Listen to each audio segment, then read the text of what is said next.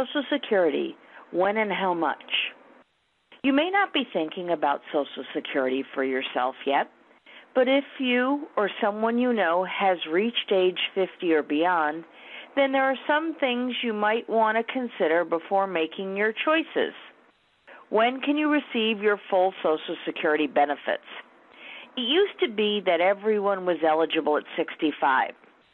Now, anyone born between 1938 and 1959 has to use the Social Security retirement age chart to find their exact retirement age. Why? Because in the early 90s they decided to increase the age to 67, but didn't want to hold out on those close to retirement.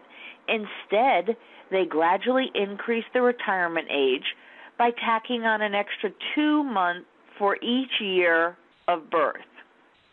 Based on your birth years, my husband Dave can retire at age 66, but I need to wait until I'm 66 in 10 months. It finally evens out for those born after 1960. They're currently holding at age 67. Of course, to qualify for Social Security, you have to meet the required credits. If you work and pay taxes, you will earn Social Security credits, typically four credits per year worked. You need to work at least 10 years, 40 credits, to receive your own retirement. Other types of benefits are available depending on your circumstances. What happens if you start early and take partial benefits?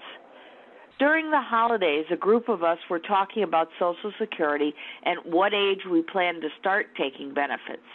The group consensus was starting with partial benefits at age 62. Yes, for some that makes sense, but not for everyone. Consider this if you take your benefits before your full retirement age, you'll receive reduced benefits for life by as much as 25% less. In addition, if you're still working and collecting Social Security, you'll have income limitations each year.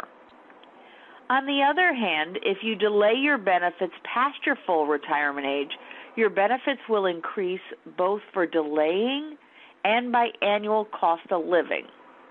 The bottom line what your family and friends do may not be what is right for you.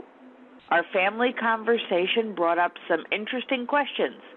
We decided to speak with one of our investment advisors to understand what was best for us in our situation. He had a novel option that worked really well for our situation. You see, the best choice for us wasn't to take the benefits at 62 or to wait. When Dave turns 62, we'll be using that advice for our personal situation. Do the research and make a plan of what's right for you and your family. Until next time, this is Jill Russo Foster.